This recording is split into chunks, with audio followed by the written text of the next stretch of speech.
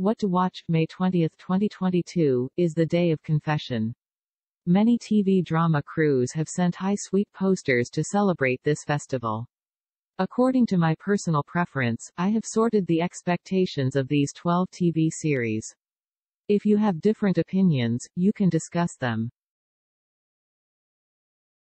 Number 1 is Savage Growth. The play is starring Zhao Liying, Oh Hao, and Li Guangjie, and starring Lu Wei, Kei Lan, Ren Zhang, Wang Jinsong, Sun Qian and others. It is an urban business war drama. The other crews are all posting high sweet posters of the hero and heroine.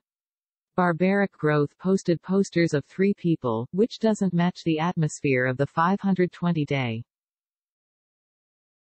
But it is because of the uniqueness of Savage Growth, so I ranked it first, as the so-called rare is precious, and Zhao Liying is a top traffic, Li Guangjie is a powerful actor, Oh Hao is a movie star, this combination is very good fresh.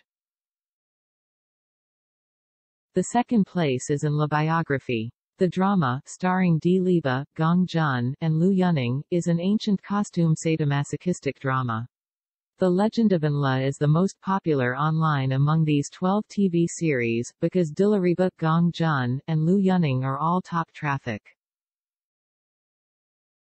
The third place is Agarwood as Crumbs. It is an Xianxia drama starring Yang Zi and Cheng Yi. This drama will form the most direct competition with The Legend of Enla, both are costume dramas, and the female lead is a top-notch post-90s female. Looking forward to these two dramas the TV show airs at the same time.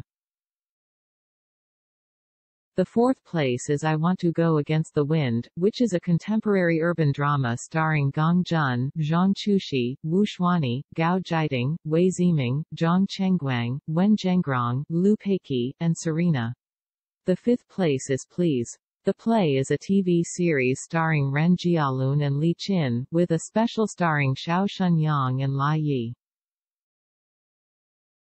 I Am Going Against the Wind and Please King are actually similar in strength, Gong Jun is similar to Ren Jialun, and Zhang Chushi is similar to Li Qin. I've been hesitating about who to put in fourth. In the end, I Am Going Against the Wind defeated Please Lord because of Wu Xuanyi. The sixth place is Long Moon Ember, which is starring Luo Yunxi and Bai Lu, and starring Chen Duling, Deng Wei, SNH 48 Sun Zhenyi, Yu Bo, Huang Haibing, Zheng Guolin, Zhang Jishi, Xiao Shunyao and Wang Zichao. The remaining six TV series are ranked in no particular order, I think they are all about the same.